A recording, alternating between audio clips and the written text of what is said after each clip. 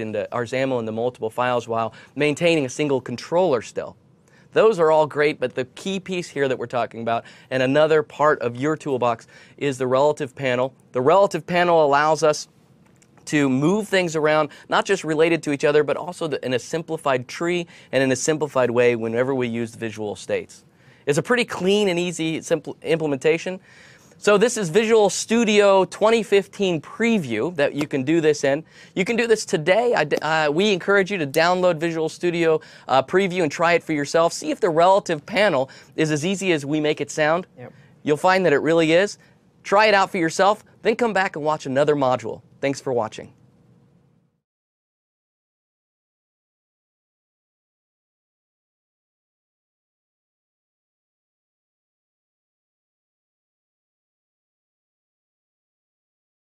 Hi, welcome to the Developer's Guide to Windows 10 Preview. I'm Andy Wigley. I'm a developer evangelist who works out of Microsoft in the UK. I'm Jerry Nixon, also a developer evangelist here in the United States. So this session, we're going to talk about adaptive triggers, which is a technique for uh, helping you to create adaptive UIs yeah. that will uh, give you, your users a great experience uh, with your app running on different screen sizes, different orientations. There's a, there's a full story when we're yeah. talking about adaptive applications in Windows 10. And I think it's worth talking through that story and kind of seeing how adaptive triggers fit into that. All right, so what's the story for Windows 10? Well, it kind of begins with just good practices, the sort of things that we learn, I guess, as web developers. Yep.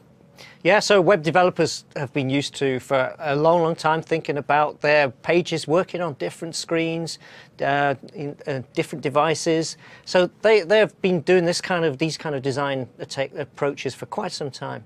For, as app developers now on the Windows 10 platform, you've got one binary, you've got a, a UI that needs to adapt to run on potentially small phone screens right up to maybe Surface Hub 85-inch uh, wall-mounted uh, devices, if you wish. You don't have to have it running on all of them, but these, these are the things you can do. And so we need some techniques in our toolbox to help us to, uh, to address this problem and create great experiences for our users. And, you know, beyond some of those design best practices that we've already learned as web developers that we get to employ, there are also some things specifically in our toolbox that allow us to really, um, to really make it elegant as well. So yep. one of the first things that you get to do is the idea of XAML views. So this allows me to take my XAML and break it into multiple files while still having a single code behind or a single XAML controller.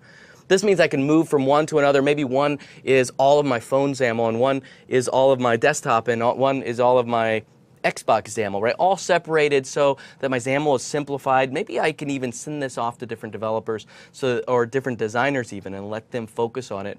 And uh, that allows me to sort of isolate my code. But I also have this idea of the relative panel, another tool that's in the XAML toolbox that I can use where this control allows for its children to be laid out in relation to the other children. Another really powerful and neat piece of the adaptive story that we have for, uh, for Windows 10.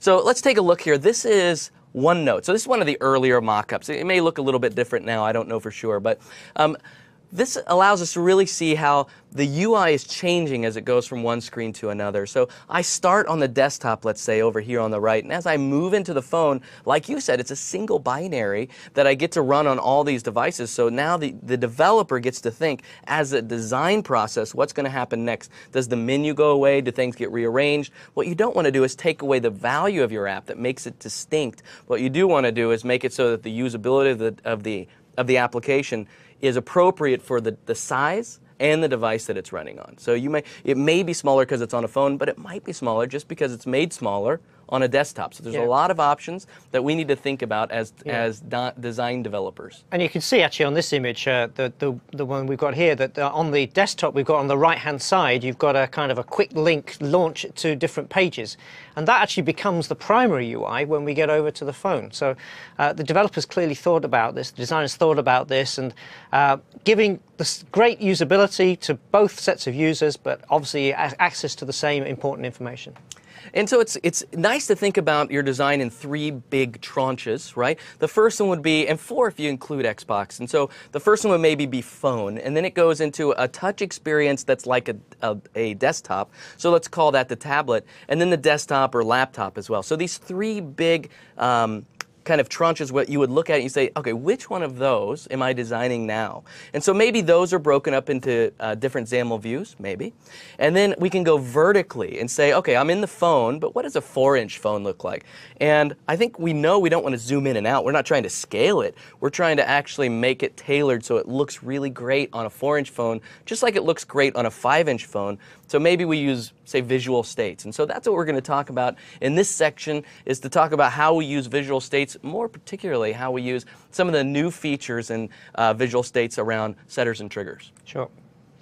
Um, you don't have to do any of this. I think that's the important takeaway. A developer can, can deliver it as is. We've done the work under the covers for you to make sure that your application runs across wherever UAP is supported, which is everywhere Windows 10 can be installed. Right? We know that's a lot. But we also know users love apps that are great on all their devices. Yep. So you put the effort. You need to focus on this and put that effort in and uh, create a really great experience for all your users. Uh, and that's you know that's great user experience. They're going to love your app. It's win-win. Yeah. So let's look at some of the improvements around visual states, especially these I, this idea of setters and triggers. All right. So first we have the ability to have setters. So it used to be that we would animate everything. So we would use um, object keyframes whenever we needed to go, say, from collapsed to visible. Because, but there's really no nothing in between collapsed and visible. It just goes from collapsed to visible. Yeah, that binary switch thing. What are you it? really animating? Nothing Yeah. at all. It's just a binary switch. Right, exactly. And so now we have this ability with setters to do these discrete properties. So we can just say set the value. It, there's no need for the overhead of an animation. So that part's beautiful. So that's, that's new for us. And now we also have this idea of triggers. And triggers are great because we get to define our view state and say, or our visual state and say what when should this be visible? And with no code running on our side we allow for the underlying framework to look at our, these triggers and invoke this visual state for us. So you can see the syntax here below. Yeah, and before in, before we had these uh, visual state triggers, you'd have to have some kind of uh, code behind, some event handler that would be looking at some size changed event or something, and then you would uh, have code that would be manually switching from one visual state to another. So this now allows us to put kind of that intelligence in a, in a no-code sort of way, in a declarative way in our XAML, the same kind of uh, logic, just but it makes it just neater and cleaner. yeah and it also made it so that we were repeating code and not being consistent, right? You might, I handle size change this way, and then the next project I'm in, I handle size change that way. So it's just good from a, a consistency point of view as well, and the ability for me to bring you in on my project team and you to understand what I'm doing because it's not all custom. Um, all right, so uh, look at setters. So the first thing that you'll you should notice is the target, and so let me. Uh, let me just say the target is different. Usually we're used to a setter saying uh, property and then the property name and then the value and the new value. But the problem is if you do do it that way, then um, wh- whose property are you setting? So target is the new way where I can say the X name. So in this case, my panel dot orientation equals horizontal. I can switch the panel orientation that way. So it, that's a kind of a catch, right? Where you may see setter, you may be looking for property because you're thinking of styles but these are visual states. And then adaptive trigger below, you can see min width window 600, and we'll talk about that here. So triggers, there are two types of triggers, min window width, sorry, I read that backwards, and min window height. Each of those basically saying anything above this. So if I said min window width zero, it's basically saying everything. Yeah, that's going to always be true. Yeah. Yeah. So obviously, typically you're going to have a you have before with the slide before we only had one visual state shown, but you're clearly going to have two or more of those. And at runtime, it's going to continually evaluate all those triggers and, and kind of select the best match, and that'll be the one that gets applied. So this is how you get this no-code switching between your different visual states, like from portrait to landscape. It's all based on this. You'll typically have a min window height equals zero, which is your kind of catch-all case. Right? And then you might have a min window height of 600 or 300 or something, Yeah. and they, they will kind of activate um, according to the different, as your screen size changes, whatever your app's running on. And every app's going to be slightly different. Sure, sure, Yeah. yeah. You may or may not support certain sizes. It's really up to you. Yeah. Um, all those values, by the way, are set in effective pixels, which means uh, don't think about scaling, don't think about resolution, don't think about DPI. Let us do that. Set everything in effective pixels so that it's a consistent experience across every device and every scale factor.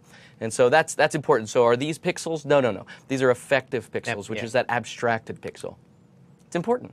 yeah. Um, let me show it to you as a demo, and you, um, you tell me if I'm doing it right. Okay. All right. So uh, I'm going to start here in Blend. I love using Blend. Of course, you know Blend's been enhanced in 2015, so it's just fantastic. All right. So I'll start with just with a blank UAP application here. And the first thing I'll do is let me go down to my XAML file. This is my main page file. And um, I just need some things to move around. So I'm going to draw a rectangle here. And so let me go to uh, the rectangle. I'll just find it. I'll draw a rectangle here. I'll keep it selected and then I'll just copy it twice. So now paste, paste. Now I have three rectangles in my canvas and I'll just move those around. So states, again, this is a functionality that I have inside Blend. And so I can create uh, three quick states. I'll create uh, one, two, three. And remember, Blend allows me to record states, so it's really great. I'll rename them so it's Visual State Phone, uh, Visual State Tablet, and then Visual State Laptop. So this sort of matches what we were talking about before, right? Yep. And so I'll, I'll, I'll do it as desktop. All right, there we go. So um, again, it's recording all the actions. You can see that red dot. So we're in And the so- phone state, yep. yeah, so the phone's going to be narrow. So I have these three rectangles, and I want them all to sort of sit on top of each other so you don't lose anything because of real estate. Now here's my tablet. It's, it's still narrow, but not quite as narrow. Let's just say, right? This is a contrived example to show off the capabilities. And then here's desktop. But look, I can change the, uh, the view here. So I'm looking at a desktop view, so it's quite a bit wider. And while I'm in desktop, um, I, I have plenty of horizontal space. So I'll move everything then to be to be here in the horizontal space. So there, uh, there they're all set up. Let's Yep. uh, let's uh, just preview those. So there's phone, right, nice and narrow. Here's tablet, and there's desktop. So this, no, nothing new yet. Right, This is all capability of Blend that's always been there. So let me go into the visual state here, and there's no tooling for this just yet. So um, I'm typing this in so you can see it. And so I'll add my state triggers. This is an adaptive trigger with a min window of zero. Remember we talked about that just a second ago.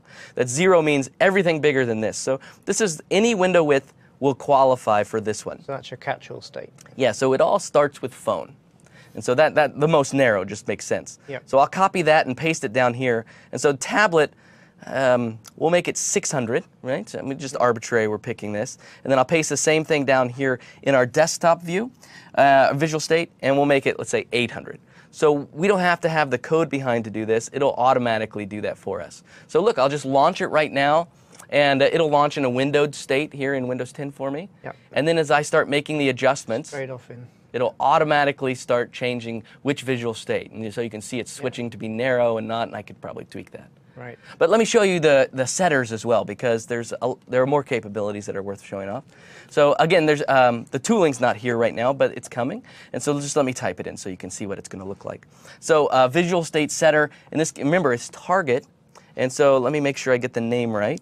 Rectangle one, and so rectangle one dot, and then I can say the property. So rectangle doesn't have a background; it has a fill, and we'll make it red whenever it's in the phone visual state. And so, perfect. I'll copy that and I'll move that down into the tablet. And uh, instead of making it red, just so they're all different, we'll make it red green. We'll do the whole RGB thing here. And then when it goes to the large one, it'll be blue. So in the most wide, where defaults, it's blue. And as we go, it'll be green. And then a little further, we can go down to red. So not only is it switching because of the adaptive triggers, but I'm also using the setter. So both the adaptive trigger and the setter are also being are all being used here, and um, quite straightforward, right? There's not a lot of complexity here. Just the ability to uh, set an explicit value in a property, and the ability to define when this visual state should show up, and just allow the underlying framework to switch it out for me. Pretty nice, pretty easy. Cool. Yeah. Yep. And so these are just enhancements to the existing visual state that we've been using all along. And so triggers, uh, the best part about triggers, they're a zero code visual state switching solution. And uh, we know, uh, because we are inside knowing people, that um, right now we can set it with width and height, but we also know there's going to be some custom solutions as well that we'll be able to use um, some reusable code that you can use in your different projects to say, now I've got a sophisticated time to switch. When should I do it? But I want to make sure that sophistication goes for every page in my application and for every application in my family of applications. So we can start building those out as well. So triggers are just going to, they have a good path coming in front of them. Right. All right, so what did we talk about? We talked about the strategies. So, uh, inside your story, the Windows 10 adaptive story for your application, we know we have the, the strategies that we learned as web developers to build responsive design applications. We also have this ability to split up our views into separate pieces. We have that relative panel, a new control in our toolbox we can use. And now these um, these enhancements to the visual state that we can use as well. And on and on it goes to make it as easy as possible. So this is Developer's Guide to the Windows 10 Preview. Lots of things are going to be changing. Tooling will be changing a little bit, but this is where we're headed, and this is what you can play with today. So go get Visual Studio 2015 Preview, try it for yourself, see how easy it is, then come back and watch another module with us.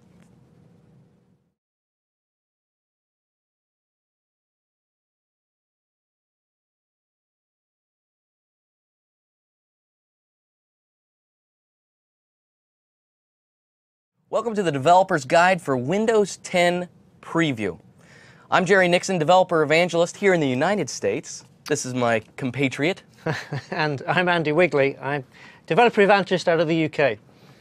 We're talking about all the new candy that you have in your Visual Studio 2015 Preview and Windows 10 Preview SDK. And right now we're going to be talking about the new ways that apps can communicate with each other. Andy, what are we going to cover? Okay, so we're going to look at, first of all, what we had in 8.1, because it kind of sets the context.